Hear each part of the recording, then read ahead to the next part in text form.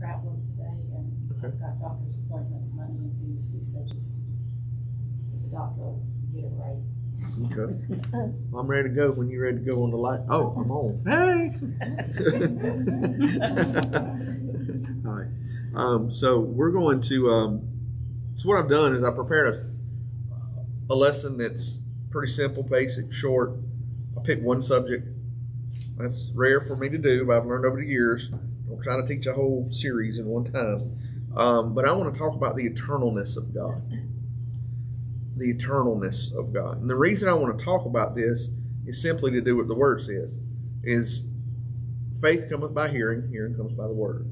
So as you hear these things, and I'm a scripture guy, I don't like to deviate out of it at all. I don't tell a lot of I mean it's okay if you do, but I don't read out of other books much. I don't I've just learned just stay in scripture, Nathan, you stay safe. That's me. and um and that's for me, but it helps. So I'm to keep it simple, but I'm to keep it very biblical. I've got more verses than I do comments, probably. And then at the very end, we're to pray um, a prayer we had talked about during um, during her prayer request that eyes would be open. So we're to pray Ephesians chapter one together at the close, um, and this is for Christians. I believe we can play pray that for non-Christians too. Um, that there's a, there's an eye opening that must take place. So what I'm preaching this for, or teaching this for, excuse me, is that is is so we would understand more about God as your as your faith is built through the Word of God. It comes by hearing, and hearing by the Word. So as I talk about the eternalness of God, your faith will be built up in God, not man, not anything else, but your faith. Point point. I'm pointing to God this morning, saying that's what Brother Ronnie talked to me. I said I'll probably teach on God. So I said I'm usually safe there. I usually probably teach on God. But if we look into this, um, let's start with number one here. Um, God is eternal.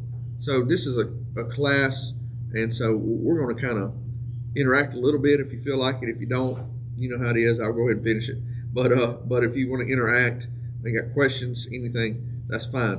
When you think about eternity, then you can. This is you can answer this.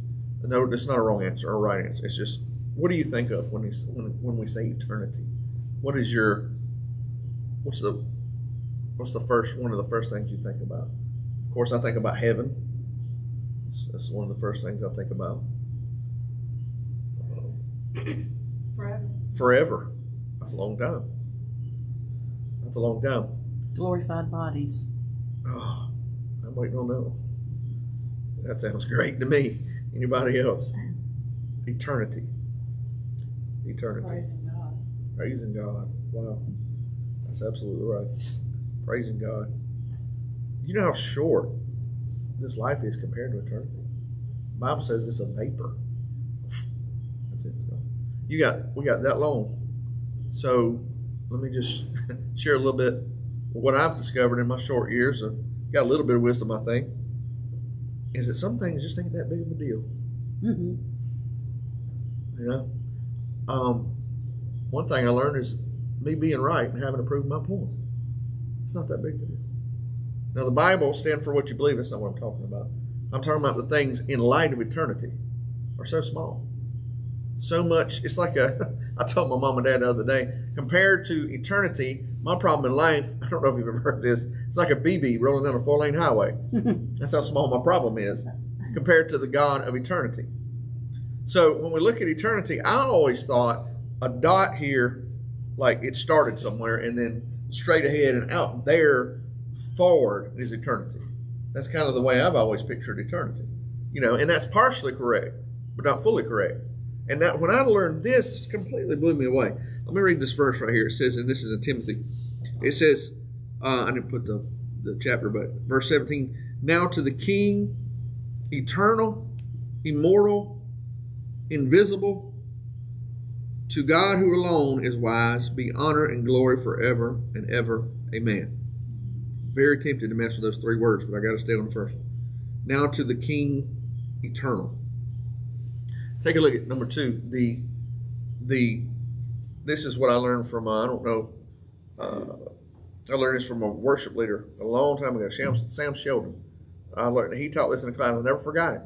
He took two. I get me bored uh, our, imaginary board today, but I got it on paper for you. He took two lines and instead of a dot and forward, which I pictured eternity being it started somewhere and it's out there, eternity has an eternity past, present, and future. So eternity is like two arrows going that way. Does that not blow your mind? It makes it blows my mind. I go, what? What? God never started. He was never created. He was never. He didn't something. If something created, we didn't find out what that was. But that's not what happened. He was eternal. He's always been. He always will be. And here, here's this. This is for me. This is almost kind of new uh, because I find out He's not only in my past. He's in my past eternity. He's in my future, and He's in my present because he's not confined by time.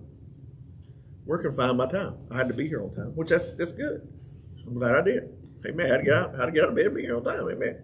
Amen. Um, and we have to dismiss on time because we have people coming in church. We have to. Time's a good commodity. It's okay. It's it's good. But God is not stuck in time. He's an eternal being. So what He can do, oh man, He can restore the years.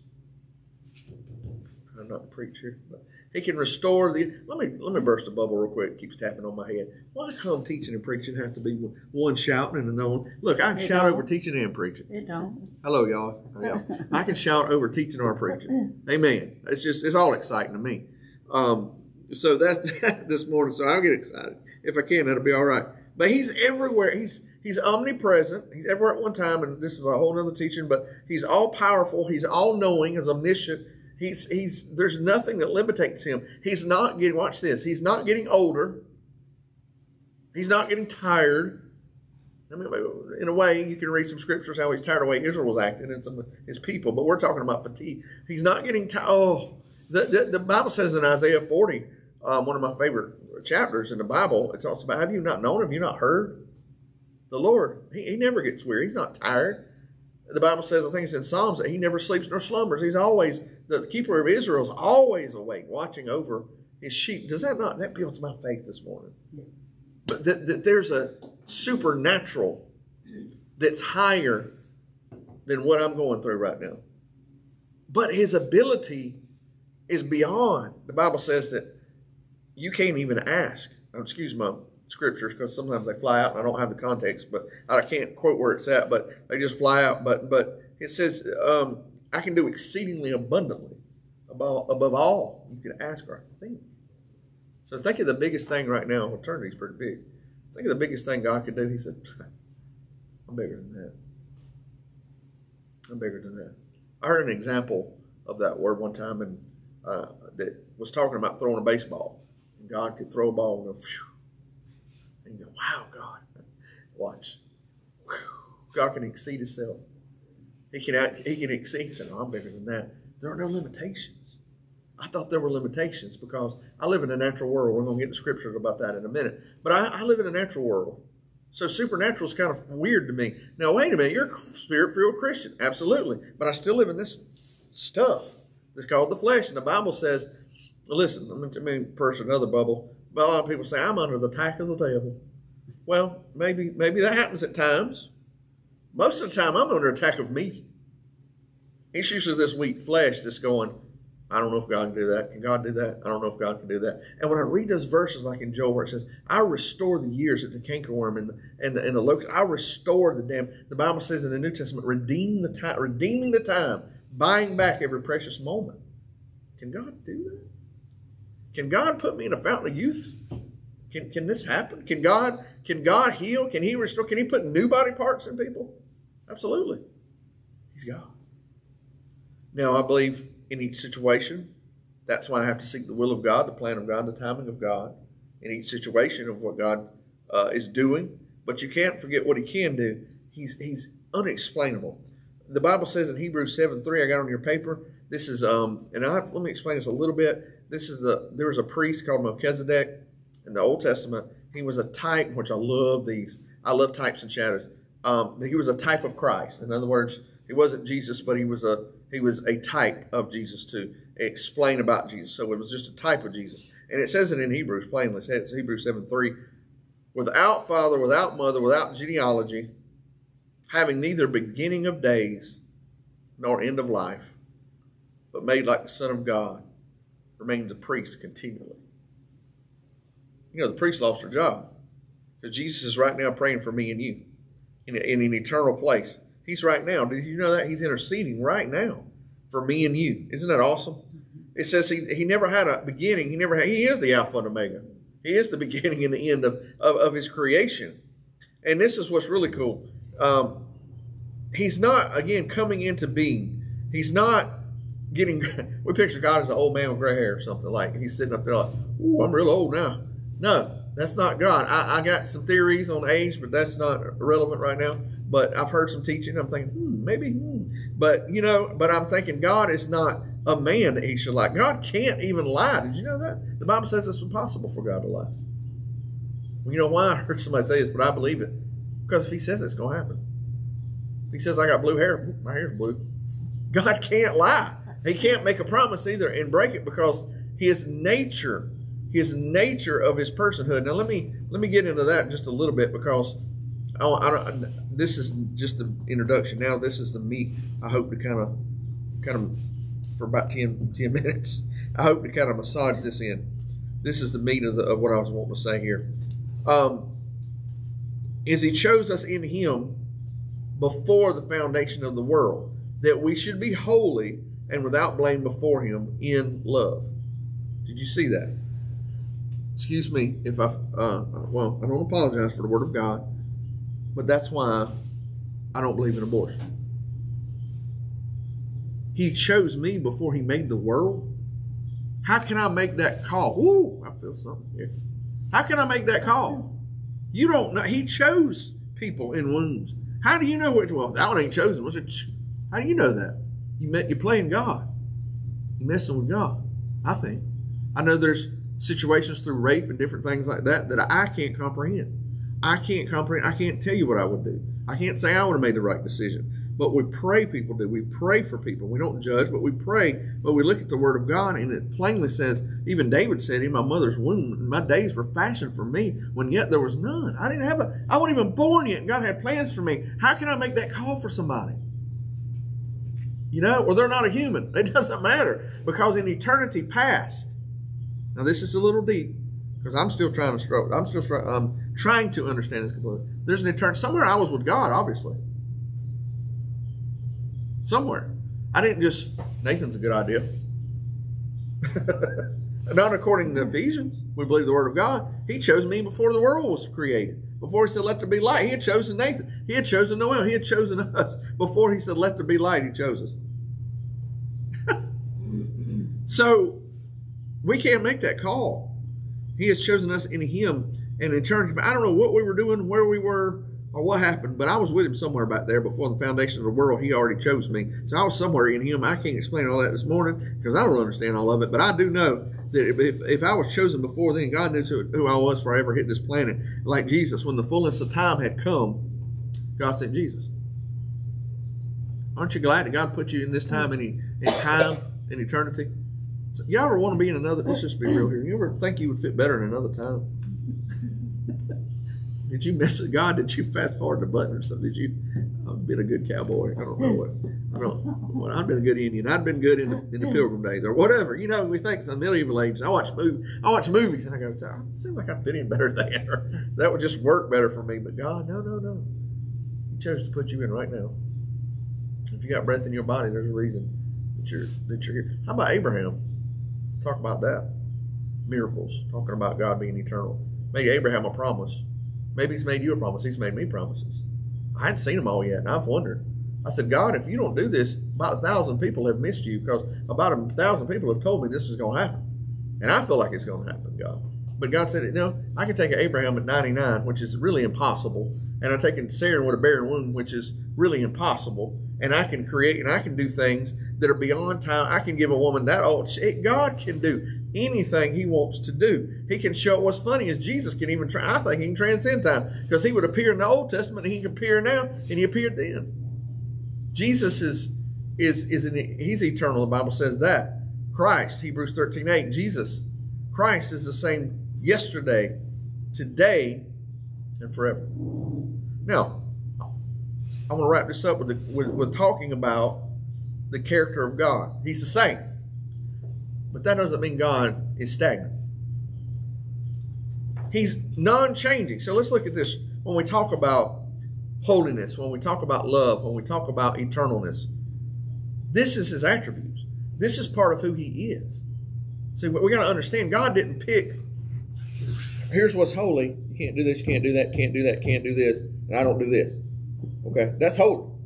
No, no, no. God said, Be you holy, not because I do holy, I am holy. So that's the standard. It's not because God made it up, it's his personhood.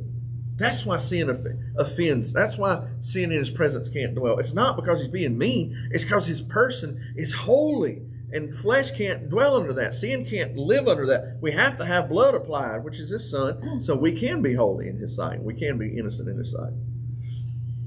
But God can't separate himself from people. I'm, so, I'm, I'm sorry, next generation.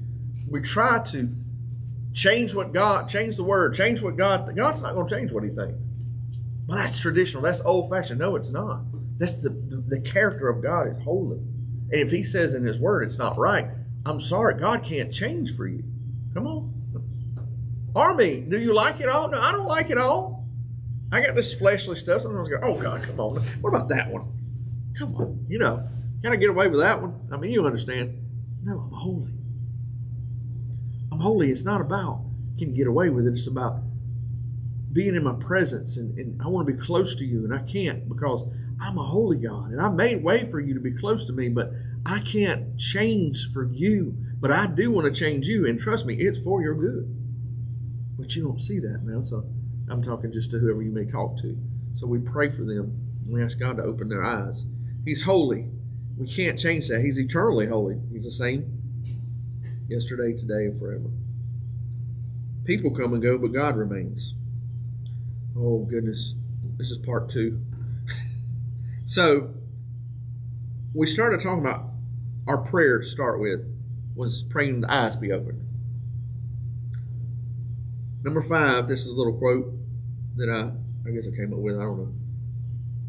And we're talking about God and eternalness. Your perception can affect your reception. What does that mean? how I this is what I'm doing this morning. I want to ask the Holy Spirit to help our perception of who God is be right.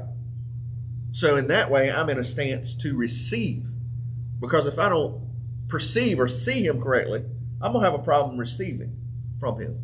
I don't know about you, but my we all have false perceptions because we live in this old body. We have to crucify it and say no in the name of Jesus. God's not like that. But I have I think we've all struggled. I always thought he was mean and ready to get me. If I mess up, he's going to hit me with something. Now, I don't know if that's part of growing up and some of the preaching I heard. Woo! I got saved a hundred times, y'all. Don't understand. But but I'm just saying that that I was fearful of God. That don't mess up, don't blow it, don't you know. And I was in this way of perceiving God of, don't, He don't hit me, I'm cool. That's a lie from hell. It is.